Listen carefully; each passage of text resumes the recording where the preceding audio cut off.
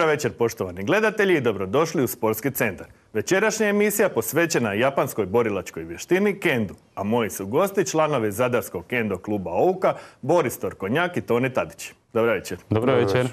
Evo, ovo je prvi put da ste moji gosti, dosta rijedak sport, pomalo egzotičan za zadarski kraj. Evo, za početak, već smo rekli, Kendo je japanska borilačka vještina. Možete li nam nešto više reći o njezinom nastanku? Pa kendo je znači nastao otprilike negdje u 16. 17. stoljeću. Kao takav ovoga, zapravo se u početku trenirao isključivo sa e, drvenim štapovima, a u obliku kako ga danas poznamo otprilike nastao negdje u 18. stoljeću kada su se ovoga uveli e, kao replike sablja od bambusovih letvica. I kao takav se zapravo trenirao sve do negdje 50. godina 20. stoljeća kada je zapravo bio zabranjen u Japanu i ta zabrana je trajala svega jedno deseta godina, nakon čega ovoga, se ponovo aktivno počeo trenirati u Japanu, a i u cijelom svijetu. I kao tako ga i danas poznajemo. Što zapravo znači riječ kendo? U doslovnom prijevodu put sablje. To vam je, znači, cijele te koncept se svodi na to da se trenira u smislu po načelima sablje. E, pripremit se za emisiju, prošao sam i naravno po ovim kendo stranicama na internetu. Primijetio sam da se često ističe ova duhovna strana, često se ističe da je kendo ujedinjenje duha i tijela. Posebno se ističu neke vrline kao čast, disciplina, poštovanje prema protivniku. Zanima me mogu li se i neke od tih vrijednosti iz kenda zapravo prenijeti na realan život, svakidašnji život? Pa svakako mogu, zato što e, to je prije svega militaristička vještina. Znači, to one obučavale samuraje znači, za borbu, a njima je taj e, kodeks znači časti bio vrlo važan i kroz samo treniranje znači tu postoji jedna određena vrsta hjerarhije unutar svakoga kluba, unutar članova tih ovoga klubova i kao tako se nauči znači jedan vrsta poštovanja, odnošenja prema starijima od sebe, prema mudrijima od sebe u tom smislu. I svakako se te ovoga odlike daju preslikati u ajmo reći javni život, zato što ono što naučite tamo svakako ponesete sa sobom i van kluba u kojem trenirate. Koliko je kendo danas e, raširen u svijetu? Sam kendo danas e, trenira oko 6 milijuna ljudi. E, s tim da u Japanu to je borilačka vještina number one gdje je skoro milijun i osamsto ljudi ovaj, ga prakticira i on je u biti ovaj, obavezan predmet u Japanu uz judo koji se kad su, ide u osnovnu školu, srednju školu koristi se znači kendo umjesto tjelesnoga ili judo. Znači može se birati između ta dva predmeta. E, I, sam kendo znači 6 milijuna u, svijetu. U, Hrvatskoj je to zadnjih možda nekih od 2004. godine postoji kao takav oblik. E, koliko klubova postoji u Hrvatskoj? U trenutačno aktivnih šest. To su znači Zadar, Zagreb ima dva kluba, Split ima Rijeka, Sisak, i, i ima u Osijeku nešto i uglavnom biti to jako mlada, mlada ova vještina koja se još u razvoju. Znači od 2004. dok neke zemlje imaju već dugu tradiciju kao što je na primjer Francuska, Mađarska, e, Italija, oni su znači već direktno nakon drugog svjetskog rata oni su počeli se baviti e, cijelim tim ovaj, kendom. I ovaj, naravno kao i što ovaj, postoje, ovaj, kako je riječ o mačevanju, tu se isto Znači, e, dan danas održava taj sportski aspekt od 70. godina, kad je prvi put ovaj, održano e, prvo svjetsko prvenstvo i postoje svjetska europska natjecanja slično kao je u svim e, sportovima danas. S tim da nije olimpijski sport. neki smatraju da bi trebao biti olimpijski sport, a kao takav ovaj, Japanci smatraju da bi izgubio na, na, na duhu ovaj, kad bi se znači, to isključivo e, posvetilo kao sportu. Jel? I isto tako, ovaj, stoga je velika rasprava tu. Da li je to sport ili nije sport. Jer e, problem je često kod sudaca, jer mislim dobro sad sam malo otišao ovaj, u, možete, u dubinu, ali, ali evo na primjer e, kad se sudi, znači sude uvijek tri suca i ne možemo elektronizirati te bodove da se samo znači dodirne jedna određena površina koja je bodovna zona, već se mora znači e, tri faktora se moraju zadovoljiti da bi bio bod, a tri su suca, dva se moraju složiti da bi bio bod. I oni smatraju da bi se znači populariziranjem ili pretvaranjem kendo u sport je izgubio taj duh toga buda. E, to se desilo i sa judom i sa karateom danas isto tako. Da, jasno. E, da. pređem odmah na vaš klub. Pun naziv je, koliko sam vidio, Kendo Dođo Uka. Tu su dvije strane riječi, pa evo za početak što znači dođu. Dođo je u doslovnom prevodu znači mjesto gdje se vježba. E, kendo smo već objasnili, znači put sablje, a ouka zapravo znači e, cvijet, savršen cvijet trešnje, znači trešnji cvijet u punom cvatu. A to je malo ovako metaforično, je li to ovoga, zapravo bi značilo, simbolizira znači to savršenstvo, je li ovoga kojim se teži u toj vještini. Non stop se teži k tome da se usavrši sam duh i tijelo, je li, pa od tuda je to i ta metafora. vidio sam također na stranici da taj trešni cvijet zapravo predstavlja i spremnost samuraja da pokloni život za svog gospodara ili Da, upravo to. E, kad je uopće osnovan klub u Zadru? Klub u Zadru je osnovan, znači prvo djelo kao sveučilišni klub 2003. godine. E, 2004. odnosno na 2005. je otvoren za javnost, za, za širu javnost jer do, do, do tog perioda je isključivo bilo za akademske ili ovaj, građane. I ovaj, s tim e, klub u Zadru je jedan, možda čak trenutačno drugi, ako ne najveći po brojnosti članova. Mi imamo trenutačno 20 članova aktivnih, od toga imamo 11 u oklopu, koji su standardno tu uvijek. Možda i 12, ne znam sad točan broj.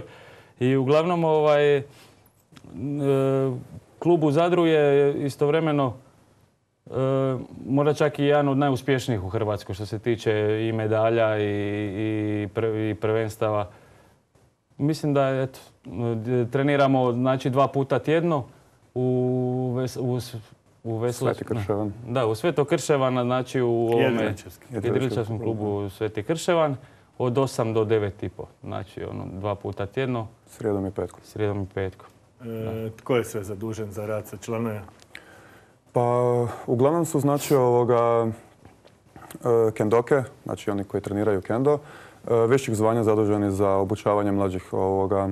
Tako da u našem klubu jedno dvoje, troje ljudi najčešće vodi treninge. Između ostaloga naš kolega Ante Ivković, koji je kao i nas dvojica e, drugi dan zvanja, znači. On najčešće radi sa novima, znači uči ih one najveće osnove od samih pravila ponašanja unutar ovoga samog dođa, odnošenja prema opremi, odnošenja prema drugim ljudima s kojim trenirate. Znači, to je neke onako najveće osnove bez kojih jednostavno ne možete, znači koje je obavezno se mora naučiti. A sa naprednijom grupom e, radim ja zapravo. I znači u, tom smislu radimo sa ljudima koji već imaju malo više iskustva isto i u stvarnim borbama, znači u na različitim internacionalnim kako i nacionalnim turnirima, i tu se onda znači obučavaju razno razne tehnike, usavršavaju osnove i tako slične stvari. E, zaboravim se vas pitati kako ste uopće vas dvojica počeli trenirati ovaj sport i što vas je zapravo privuklo? Može jedan po jedan. Pa evo, ja osobno sam na primjer počeo sa svojim kolegom iz srednje škole još. To je bilo, ja mislim, 2005. ili 2006. tako negdje otprilike. Mislim, e, oba dvojica smo od uvijek bili zaljubljeni u japansku kulturu, pa je to nekako eto samo po sebi došlo i kad je on saznao da to zapravo ima, jer to je nekako bilo isto čudno za, za čuti da uopće ima, nije baš uobičajeno, ali i onda kad smo saznali smo jednostavno došli i probali i ostali smo, jednostavno se svidi. pa slično nekako razmišljanje. S tim da sam ja od uvijek, ne znam, nekako volio se mačevati. To mi je bilo onako, ovaj, svi su htjeli biti ili ninđe ili ovaj, neki superheroji. Meni uvijek to mačevanje ostalo nekako u nekom dobrom sjećanju. Tako da, ovaj, i naravno, poslije kad sam malo bio stariji, onda sam pogledao i sedam samuraja od Kurosave, koje mi je onako bilo uvijek čitav nekako ovaj, jeli, vodilja za, za, za, za treniranje. I, ovaj, I tako da sam isto, slučajno sam čuo, znao sam neke ljude preko te zajednice koji smo imali ovaj, ljubitelji Japana, ajmo ih nazvati tako, ovaj, i japanske, ne znam, kinematografije i, i, cijele te kulture. E, oni su neki se članovi bavili tim, ali ja međutim kako sam već, nisam još bio na, na, na faksu, odnosno na sveučilištu, nisam mogao sudjelovati na treninzima, pa onda kad sam tek upisao faks, to mi je bilo biti jedan od motiva čak da upišem faks, ovaj, zvuči malo ovako. Ovaj, I onda sam krenuo, znači prije 9 godina možda, 9 godina se bavim tim. isto sam e, drugi dan, to je znači kendo se rangira po učeničkim zvanjima i istovremeno se rangira, znači imamo e, šest učenička, učeničkih i devet, odnosno osam ovaj, majstorskih. E, da bi se, znači kreće se od šestog Q-a, to je najniži Q, do prvog Q-a, to se polaže znači, u nekim različitim vremenskim intervalima i onda se polaže taj prvi crni pojas, to je znači prvi dan.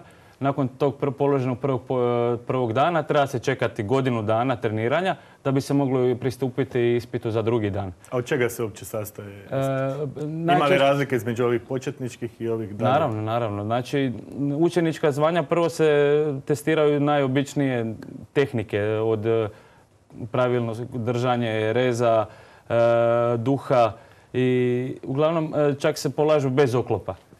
Dok, za majstorska zvanja imamo svi dvi borbe. E, imamo, odrađujemo znači kate, to su jedan isto sastavni element e, kenda i, i ovaj, pred komisijom koja mora biti ovaj, višeg zvanja. Najčešće mi, za ta, mi još uvijek u Hrvatskoj ne možemo polagati za majstorska zvanja, već polažemo ovaj, vani negdje. Znači ili u Austriji, Mađarskoj, Francuskoj.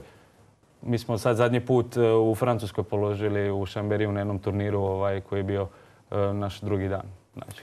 Evo, spomenute su i te kate.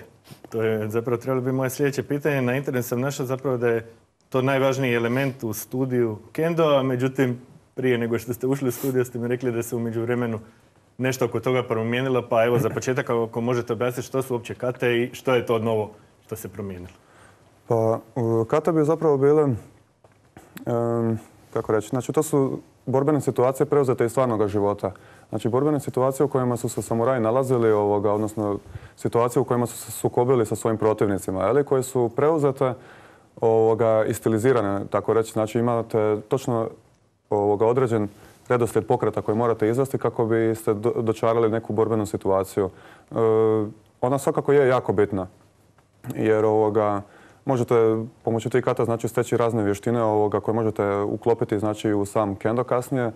Zato što se u tim katama najčešće uče ovoga pravilni borbeni stavovi i uči vam se e, znači osjećaj za prostor, za udaljenost, takozvani mae na japanskom elim. I svakako je možda ako ne i najvažnije, ali znači za napredak jedna od najvažnijih stvari, ali svakako i prakticiranje samog kendo. Znači, svakako jedan od važnijih elemenata, ali ne, ne bi baš rekao najvažniji. Ali. Možeš li spomenuti onda to što je uz da. kate važno? A, a u svakom slučaju, non, znači ponavljanje e, tih najosnovnijih rezova. Znači vi možete na jednom treningu doći i teoretski sat i po vremena, dva sata, koliko god vas volje vježbati, jedan te isti ovoga potez po tisuću, dvije tisuće puta, koliko god je već potrebno i eventualno tako cijeli život raditi u svrhu toga usavršavanja jednog savršenog poteza ali, koji će vam u datom trenutku biti potreban. E, spomenuli ste malo prije da ste bojica drugi dan imali ko iznad vas. Ko je u Zadru najviše napredovao po tom pitanju?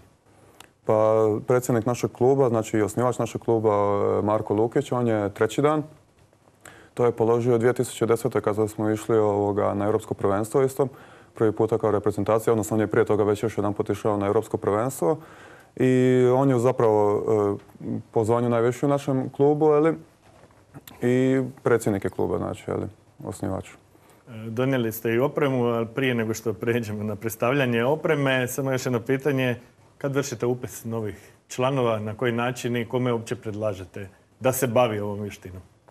Pa upisi počinju uglavnom ovoga, u devetom mjesecu kad počinje školska godina, odnosno i u desetom i traje do kraja, ajmo reći, godine, onda do kraja 12. mjeseca, zapravo i početkom akademske godine na sveučilištu, je A kome bi to predložio? Predložio bi, a zapravo nema, nema nekog pravila kome bi se to predložilo ili ne. To se stvarno može vježbati od malih nogu pa do skroz duboko u starosti, jer ovoga, čak su mislim, uvijek su ljudi najiskusniji o tome zapravo koji se najduže bave s time, tako da nema tu nekog pravila. Vi možete doći i imati 20 godina i biti fizički vrlo spremni i sve to i svejedno naletiti na neku osobu od